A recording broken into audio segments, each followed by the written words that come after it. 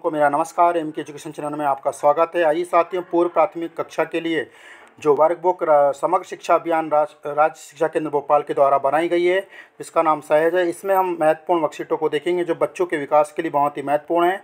Pre primary के बच्चों के लिए इसमें हम वर्कशीट पे कार्य कर रहे हैं। तो वीडियो को शुरू से अंत तक देखें, चैनल को कर लें, सब्सक्राइब। कह रहा है, छोटी वस्तु पर सही का निशान लगाएँ। तो इस वर्कशीट के माध्यम से बच्चों की जो हम देख रहे हैं, छोटे बड़े की पहचान की अवधारणा विकसित होगी। बच्चा छोटी वस्तु, बड़ी वस्तु को पहचानना सीखेगा।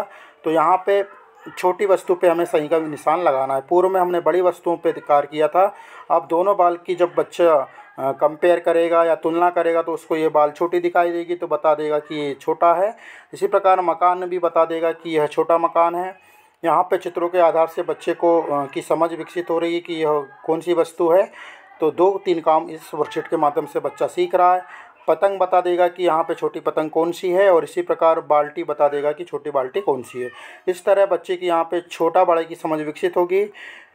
आशा है ये वर्कशीट बच्चों के लिए ज़रूर हेल्पफुल रही होगी। लेटेस्ट अपडेट पाने के लिए एम के एजुकेशन चैनल पर बने रहिए। वीडियो को शेयर एम लाइक ज़रूर करें। कमेंट्स बॉक्स में आपके सुझाव अवश्य बताइए। धन्यवाद।